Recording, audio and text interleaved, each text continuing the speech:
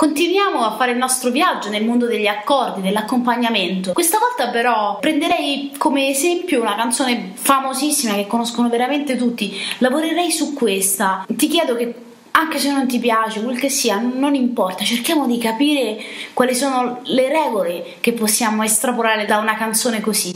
È famosissima di Beatles, Lady B. Andiamo a vedere subito quali sono gli accordi. Il primo è Do maggiore.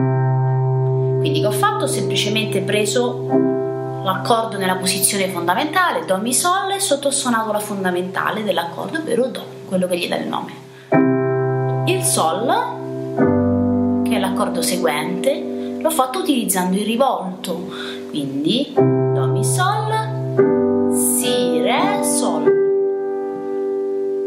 Poi abbiamo La minore, sono andata a suonare Do Mi La però attenzione, anche se suonassi solo Do Mi, andrebbe bene. Vediamo.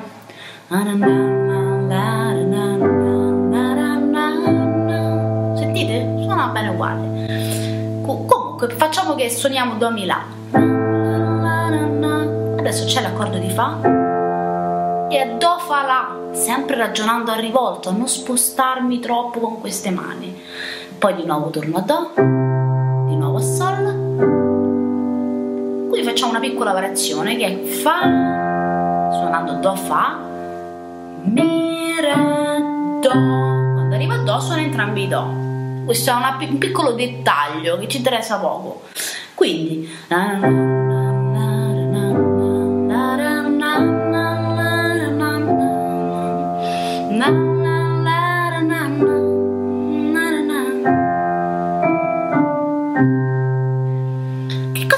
fare adesso? La prima cosa a cui dobbiamo ragionare, naturalmente, dopo aver individuato i rivolti, è a come dare dinamica ad un brano. Vediamo oggi solo la parte della strofa, in modo che cominciamo a vedere una cosa che non abbiamo mai fatto finora. A che serve la dinamica? La dinamica serve a dare movimento a un pezzo, lo possiamo anche suonare tutto il tempo uguale, però dopo un po' rompiamo quindi che dobbiamo fare? Dobbiamo creare del movimento. Non so se hai mai visto eh, la, l'onda de, di una canzone, no? quel grafico in cui, che in genere è fatto così, no? comincia più piano, poi cresce, poi ritorna, poi ricresce. In questo modo possiamo visualizzare la dinamica, quindi abbiamo vari modi per poterla fare, suonando ad esempio prima molto piano, poi suonando più forte.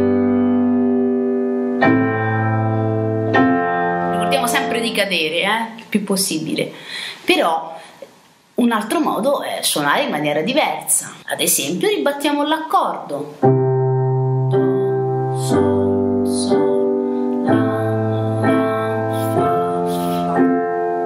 È una cosa simile a quella che fanno loro la vedo io, una cover uguale all'originale è una cover inutile. È inutile per un semplice motivo, perché l'hanno già fatta loro e la faranno sicuramente meglio di te. Per cui qual è la nostra la strada che dobbiamo intraprendere? È andare a cercare di personalizzarla, di cambiarla un po'. Ci dobbiamo anche prendere il coraggio a volte di cambiarla molto. È chiaro che chi ascolta potrebbe rimanere piuttosto spiazzato, però se lavoriamo al servizio della musica dobbiamo assumerci le responsabilità di quello che facciamo e come ripeto, una cover uguale all'originale è una cover inutile. Andiamo a vedere un metodo che tra l'altro è diffusissimo per arrangiare, ci tornerà utile un sacco di volte, per cui impariamolo all'inizio sembra piuttosto difficile. È questo qua.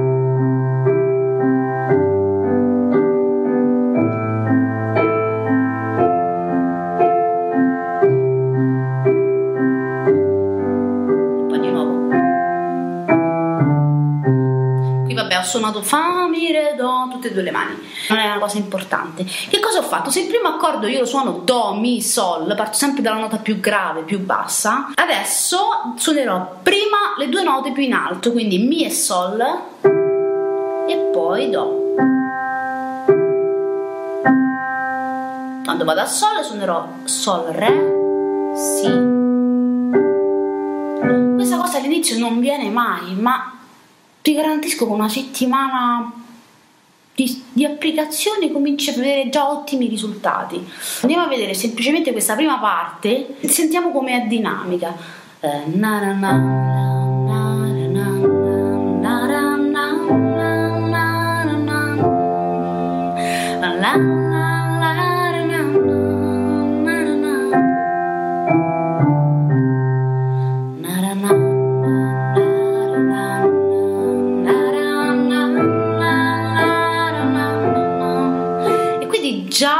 creato quel movimento che non fa annoiare a chi ascolta e che comunque ci spinge alla creatività. Studiamolo bene questa cosa, ci vuole, ripeto, tempo. La musica bisogna capire quello che si sta facendo e perché noi stiamo facendo così perché lavoriamo in maniera dinamica. Poi ho capito il perché bisogna solo provare e riprovare fino a che non viene. La prossima volta vediamo il ritornello, così vediamo un altro modo per arrangiare, sempre per, per la questione di dare dinamica. Un abbraccio